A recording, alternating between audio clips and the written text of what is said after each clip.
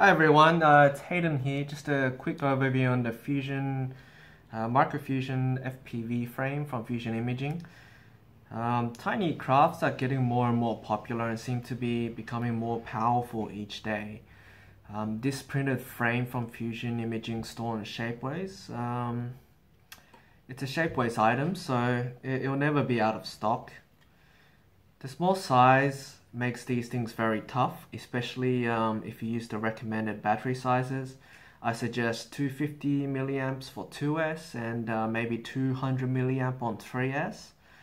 I know it sounds small, but believe me, uh, give it a try, and it will give you a great um, flying time. I mean, if you're punching full throttle all the time, continuously, it might be shorter, but uh, give it a try. Um, the frame is fully printed, so there are some advantages in manufacturing. The exterior is smooth.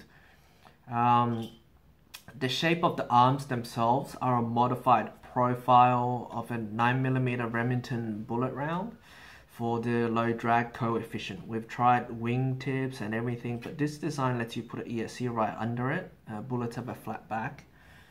Um, the arm is actually hollow, makes it very light, but it's internally reinforced with a series of baffles like the Titanic, and um, you kind of get little cell structures inside.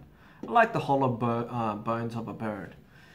Um, the way the frame is developed is very unscientific. Basically, it was a design uh, with minimal material and then given to a bunch of people for testing. Uh, with each crash, the frame was reinforced at the um, fracture points. We had many. Uh, this frame was broken at many points in the in, in the first iteration, and basically I just slap on a bit of material here and there to reinforce it. So. Um, it goes back on the field and you repeat it until basically I deem it good. So this ends up with a very light but tough frame and um, this process is very hard to achieve with traditional uh, manufacturing. Um, like many mini frames, you can fly this without a canopy. I mean, a lot of people do this with a tiny whoop and um, the Eachine frames. But um, the canopy was also created. In fact, there were three that were created, a 1.5 mil, 2.5 mil, and a 2 mil thickness. Uh, no one's actually ever broken a 1 millimeter yet, so that's the one that's going on sale first. Um, they're going to be very cheap, it's very light. So I would just recommend flying with a light one. If it breaks, just slap another one on. But um, there will be, if you want, 1.5 millimeters and 2 millimeters uh, on sale a bit later on, uh, if that's even necessary. Um, this frame accepts uh, 1104 motors with standard M2 screws by 9mm spacing.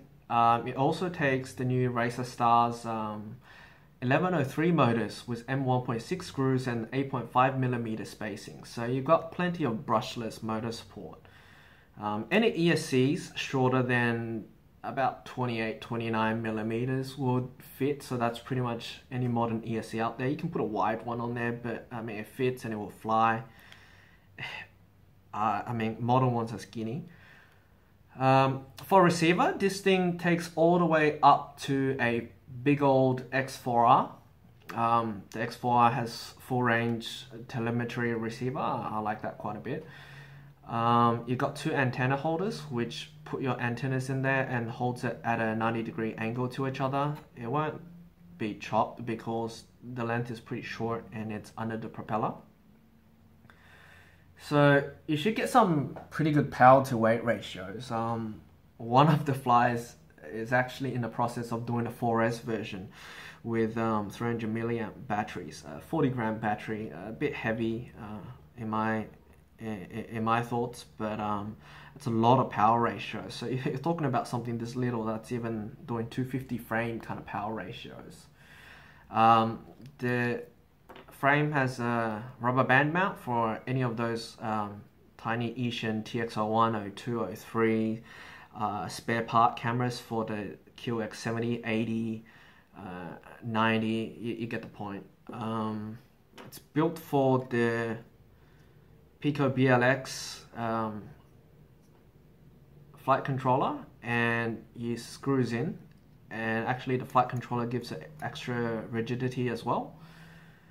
Um, you should be flying with a small uh, FC anyway, but maybe we can create one for the Femto FCs, but the Femto doesn't have a uh, screw mount. So development's never finished. I mean, I'm excited to hear how you guys uh, go with this craft. Let us know how it breaks, and if we can improve the fracture point, uh, and if it doesn't add too much weight, we'll put it in. Of course, if you're going at 90 kilometers an hour and hit a tree, uh, I would recommend not reinforcing that fracture. Uh, there's a limit um, to how much uh, meat you want to put on this arm. Hope you guys enjoy it. Uh, as all uh, as with all Fusion Imaging product, there's a money back guarantee if you don't like it. Um, it's spelled out right on the product page. Um, if you're watching this far in the future and things have changed about the money back, just pop us a question, ask um, if there's still a money back, but that's far in the future. Otherwise, right now, um, I, I, don't see any changes coming up for a while. Uh, there's a money back guarantee. It's right under the buy it now button. I'm going to do a flight video. Enjoy that video. I'll put it in the description below.